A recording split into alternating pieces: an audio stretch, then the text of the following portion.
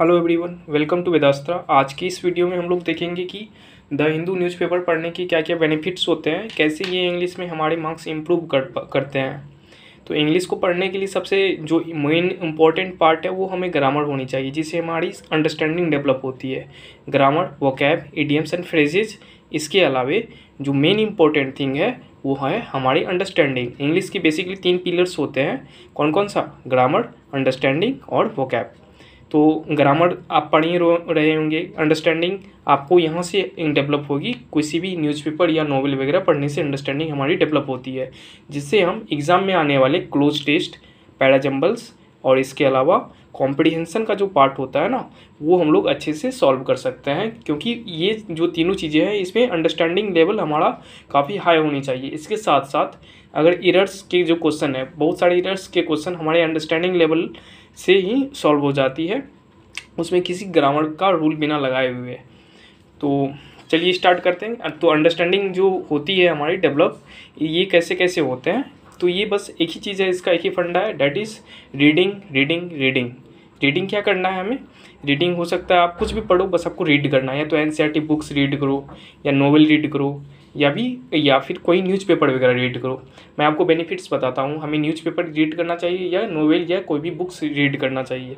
तो देखो, अगर बुक्स रीड करते हैं फॉर एग्जांपल कोई भी एन बुक रीड करते हैं तो वहाँ जो एकेडमिक ईयर्स के जो बुक होंगे एन के, बस वो हमें इन्फॉर्मेशन मिलेगी, जो कि हम बचपन में पढ़ चुके हैं या फिर जो हम पढ़ चुके हैं, उसका बस रिवीजन होगा वहाँ से।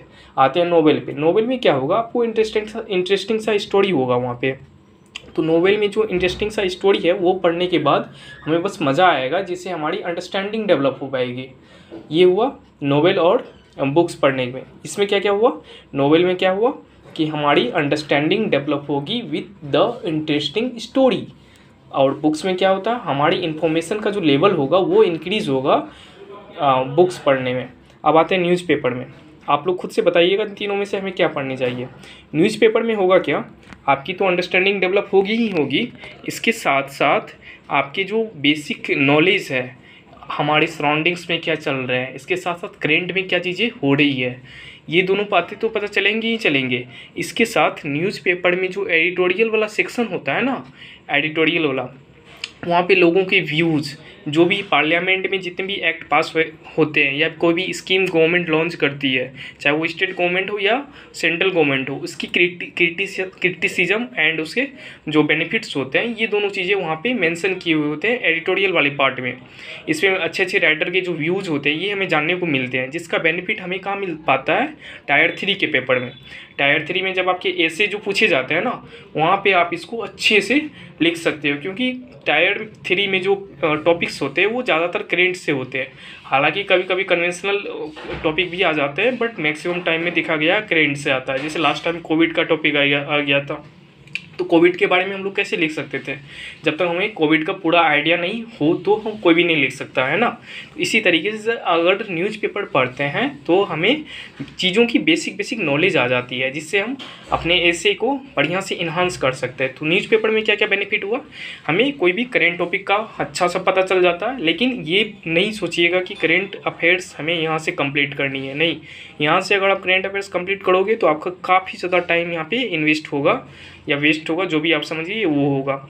आपको करेंट किसी न किसी किसी इंस्टीट्यूट के या किसी भी पीडीएफ से आपको करनी है मंथली वाइज हो सके तो आपके पास टाइम है, आपके पास मैथ इंग्लिश एंड रीजनिंग बढ़िया से अच्छे, इसका लेवल ठीक है तो आप डेली वाइज भी कीजिए, क्योंकि जीके का कोई लिमिट नहीं होता। है तो न्यूज़पेपर में ये बेनिफिट क्या क्या हुए? हमें इसके अंडरस्टैंडिंग लेवल डेवलप होगी पहली बात। दूसरी बात करेंट चीज़ें जो चल रही है, उसका हमें पता चलेगा। और तीसरी बात क्या, कोई भी चीज़ है, कोई भी गवर्नमेंट वगैरह स्कीम है या कोई भी चीज़ें हमारे आसपास में चल रही है। फॉर एग्जांपल अभी रशिया यूक्रेन वॉर हुआ। इससे इंडिया पे क्या इम्पैक्ट पड़ा? इंडिया से रिलेटेड और भी जो जो चीज़ें हो रही है। फॉर एग्जांपल श्रीलंकन क्राइसिस जो भी चल रही थी। उसमें इंडिया का क्या रोल रहा इंडिया का क्या क्या योगदान रहा उसमें? इंडिया किन किन तरीक़ों से हेल्प कर पाया? और भी इसके अलावे वर्ल्ड के कौन कौन से कंट्रीज़ उस पर अपना इन्वेस्टमेंट या डिस जो भी किया, जिस, उसके इफ़ेक्ट जो पड़े, वो क्या क्या हुए? इन सब चीज़ों के बारे में हमें यहाँ से न्यूज़पेपर से पता चलता है। ये नोवेल से पता नहीं चलेगा, किसी भी एकेडमिक बुक से पता नहीं चलेगी, ये सिर्फ़ और सिर्फ़ न्यूज़पेपर से पता चलेगी, जिसका प्रयोग आप टायर थ्री के पेपर में अच्छे तरीके से अपने एसेज लिखने में कर सकते हो। इसके साथ ही साथ जो प्रेसी आती है, प्रेसी भी कई बार करेंट से रिलेटेड ही आ जाती है। तो प्रेसी का जो सेक्शन है ना टायर थ्री के पेपर में, वो भी हमें न्यूज़ पेपर से अच्छा बेनिफिट हो जाता है वहाँ पे लिखने में। अगर आप इंग्लिश मीडियम में अपनी टायर थ्री की पेपर दे रहे हो तो ठीक है? तो न्यूज़ पेपर हमें क्यों पढ़ना चाहिए? क्योंकि इसके काफ़ी सारे बेनिफिट्स है as compare to novel and academic books academic books and novel में आपकी बस अंडरस्टैंडिंग लेवल इंक्रीज होगी with the ancient vocabulary newspaper में क्या होगा? आपको नया नया वोकेबलरी मिलेंगे। इसके साथ साथ आपके जो लेवल है अंडरस्टैंडिंग लेवल तो बढ़ेगी ही बढ़ेगी साथ साथ करेंट लेवल भी बढ़ेगा और करेंट अफेयर्स जो आपका इंफॉर्मेशन है करेंट इन्फॉर्मेशन आपके सराउंडिंग्स में क्या चल रहा है, इसकी भी जानकारी होगी साथ साथ आपके अंडरस्टैंडिंग लेवल आपके खुद के व्यूज़ आप अपने ओपिनियंस दूसरों के साथ शेयर कर सकते हो न्यूज़पेपर पढ़ने के बाद। आपका जो थिंकिंग लेवल होगा, ये बिल्कुल एक अलग ही लेवल का हो जाएगा, बाकी लोगों के साथ जो कि न्यूज़पेपर नहीं पढ़ते हैं, उनके कंपेरिजन में, ठीक है? अब आते हैं, हम लोग बात करते हैं न्यूज़पेपर पढ़ना कैसे है। इससे पहले न्यूज़पेपर कौन सा पढ़ना चाहिए? देखिए, द हिंदू सबसे बढ़िया माना जाता है, लेकिन आपके यहाँ पे ये अवेलेबल है या नहीं है, ये भी डिपेंड करता है, क्योंकि ये सारी जगह पे नहीं होते हैं। द हिंदू, ये भी एक अच्छा न्यूज़पेपर ये अगर आप ले सकते हैं तो ज़रूर आप इसे ही पढ़िए, मैं इसे ही प्रेफर करूँगा आपको लेने के लिए। इसके अलावा अगर ये नहीं है तो आप इंडियन एक्सप्रेस या टाइम्स ऑफ़ इंडिया ये दोनों अच्छे न्यूज़पेपर होते हैं, क्योंकि इसकी जो वोकेबलरी होती है और ग्रामर जो होता है, ये अच्छा बिल्कुल करेक्ट होता है। बाकी न्यूज़पेपर का मुझे नहीं पता, आप देख लेना, लेकिन ज़्यादातर सजेस्टेड न्यूज़पेपर यही तीनों है। मैं सबसे ज़्यादा द हिंदू, उसके बाद Indian Express then Times of India okay so अब हम लोग चलते हैं न्यूज़पेपर पढ़ना कैसे और कौन कौन से टॉपिक पढ़ना। फॉर एग्जांपल ये जो न्यूज़पेपर आप देख रहे हो, ये टोटल फोर्टीन पेजेस का। है क्या फोर्टीन पेजेस हमको हम लोग को पढ़ना चाहिए या नहीं पढ़ना चाहिए? आप अगर वन से लेके फोर्टीन पेजेस तक पढ़ोगे तो आपको जो टाइम है वो बहुत ज़्यादा जाने वाला है। ऑलमोस्ट तीन से साढ़े तीन घंटे लग जाएँगे। तो आपको इसमें बिल्कुल सेलेक्टेड टॉपिक्स पढ़ने हैं। कौन कौन से? हमको कोई भी पॉलिटिकल टॉपिक नहीं पढ़ना है, जिससे कि हमारा एग्ज़ाम में नहीं आने वाला। Political topics in the sense की पार्टी से रिलेटेड फॉर एग्जांपल यहाँ पे एक न्यूज़ आप देख सकते हो। क्या है? BJP suspends MLA Raja Singh after arrest over controversial remarks तो ये तो पॉलिटिकल न्यूज़ है, लेकिन आपको ये पता होनी चाहिए ना कौन से कंट्रोवर्शियल रिमार्क्स से इसको सस्पेंड किया गया है बीजेपी के द्वारा। तो आपको ये चीज़ें पता होनी चाहिए, क्योंकि हो सकता है कंट्रोवर्शियल रिमार्क्स जो है ये किसी आर्टिकल से रिलेटेड हो, या फिर हमारे सुप्रीम कोर्ट के किसी जजमेंट से रिलेटेड हो, जो कि आपके जीएस के टॉपिक्स में भी आ सकते हैं, आपके नॉलेज को भी इन्हांस करेगा और जो आपके इंफॉर्मेशन लेवल है, वो भी इंक्रीज होगी।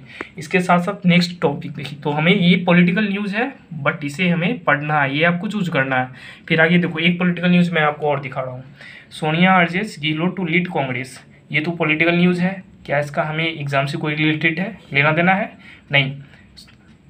क्यों नहीं है? क्योंकि इसका कोई भी इम्पैक्ट हमारे एग्ज़ाम में नहीं है। किसी भी पर्टिकुलर पॉलिटिकल पार्टी है। इसको कौन लीड करेगा? इसके बारे में इस आर्टिकल में हमें बताया गया है। तो हमें ये न्यूज़ नहीं पढ़ना है। ठीक है? उसके बाद यहाँ पे है। All all political parties on one side everybody wants freebies Supreme Court series okay everybody wants freebies तो फ्री बाइज के ऊपर जो ऐसे का टॉपिक है, ये बन सकता है। हमें ये पढ़ना चाहिए। अभी हमारे कंट्री में फ्री बाइज का जो मुद्दा है, वो चल रहा है। हमें ये मुद्दे का पूरा पूरा अंडरस्टैंडिंग होनी चाहिए। ठीक है? हाँ हम यूपीएससी के पेपर लिखने नहीं जा रहे हैं बट हमको पता होनी चाहिए फ्री वाइज क्या है। इसका जो, अब देखो, अब जब आप ये टॉपिक पढ़ोगे तो आपको क्या होगी फ्री वाइज जानोगे। फ्री वाइज कैसे जानोगे? आप सारे आर्टिकल इसके पढ़ोगे। आर्टिकल पढ़ोगे तो आपकी अंडरस्टैंडिंग लेवल बढ़ेगी। इसके, इसमें नए नए वोकैप्स आएँगे। वोकैप्स को आप क्या करोगे? जो जो पता नहीं होता होगा, आप उसे छोटा सा नोटबुक में नोट करोगे और उसकी मीनिंग जानोगे।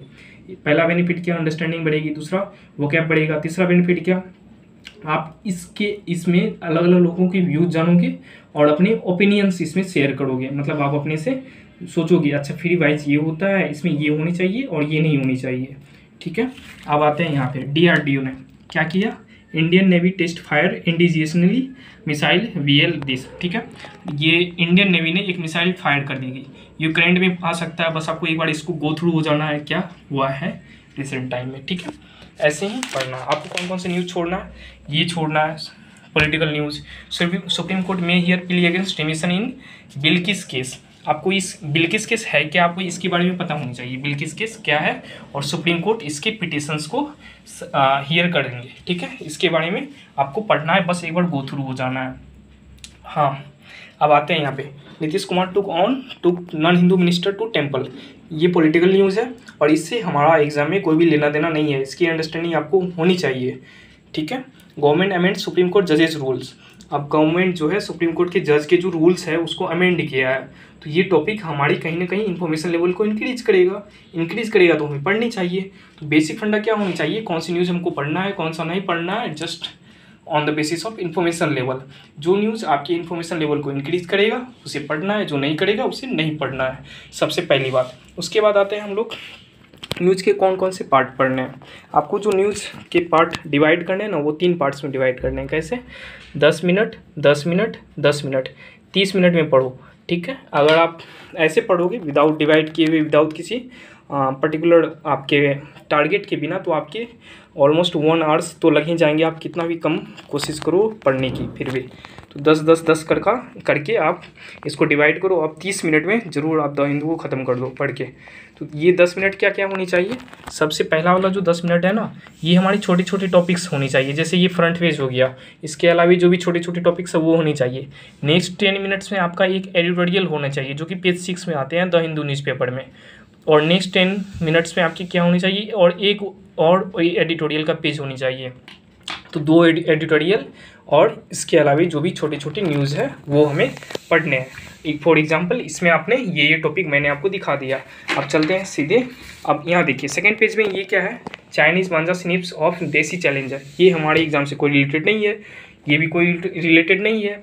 I A F Indian Air Force to deploy two helicopters for relief in flood hit MP MP की जो फ्लड हिट एरियाज़ हैं, उसमें इंडियन एयरफोर्स ने दो हेलीकॉप्टर दिए हैं वहाँ पे अपने जो हेल्प है, वो हेल्प पहुँचाने की कोशिश की है। आप इस न्यूज़ को इग्नोर भी कर सकते हो, नहीं भी पढ़ोगे तो।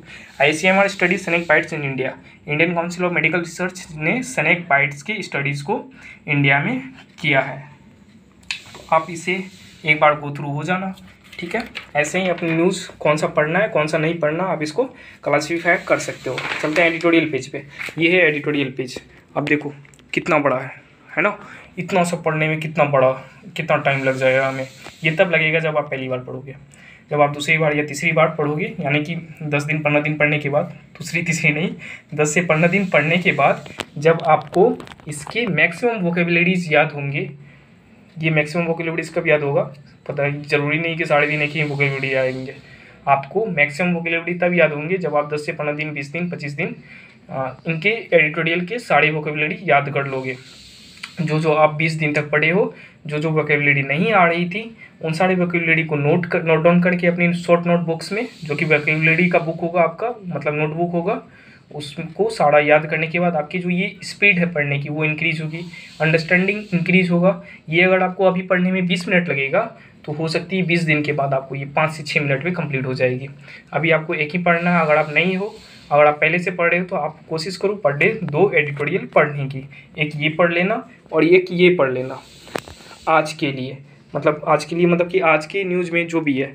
देखो the case of the missing scientific Indian the implications of the five G roll out for law enforcement ये दोनों न्यूज़ आज के लिए काफ़ी ज़्यादा इंपॉर्टेंट है है ना?